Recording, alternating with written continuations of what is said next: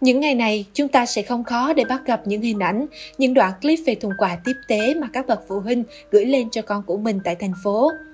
Đó là những hành động thiết thực nhất mà những bậc cha mẹ nào cũng muốn nghĩ tới và cố gắng thực hiện để cho con của mình trước mắt là được ăn no, được ăn ngon ngay giữa những ngày mang tính thử thách.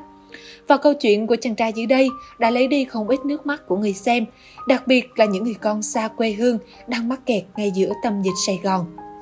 Ngày Sài Gòn siết chặt thực hiện chỉ thị 16, thùng hàng cha mẹ chuẩn bị đã kịp đến tay chàng trai.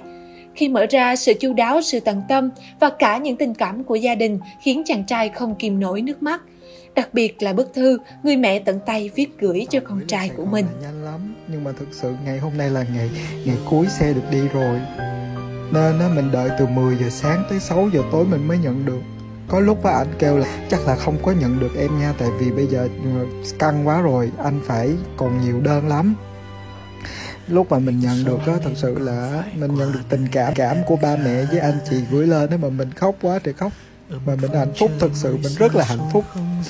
Rồi mình đã mở thùng đồ ra ở trong á tất cả mọi thứ đều được gói bằng giấy báo với lại một lớp bao ni lông bên ngoài thì rồi đang đập hộp như vậy á, thì mình có cầm được một cái phong bì.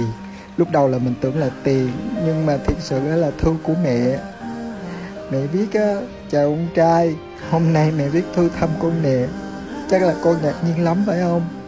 Đà ơi cả nhà rất là lo cho con và thương con nhiều lắm. Những ngày tháng vừa qua tình hình dịch bệnh ngày càng nguy hiểm nhất là tại thành phố Hồ Chí Minh.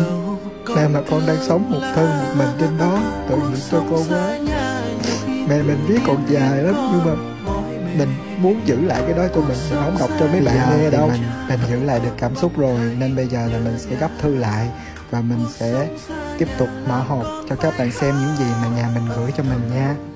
Trong hoàn cảnh cả nước gồng mình chống dịch Cần lắm sự lan tỏa yêu thương và năng lượng tích cực cho cộng đồng như vậy những ngày tháng trước mắt sẽ còn rất nhiều cam go, nhưng ai trong chúng ta cũng mong đợi ngày Sài Gòn và cả nước được khỏe lại, được hòa vào phố phường, được lắng nghe những âm thanh của nhịp sống thường nhật. Chúng ta và gia đình chúng ta tất cả đều sẽ bình an.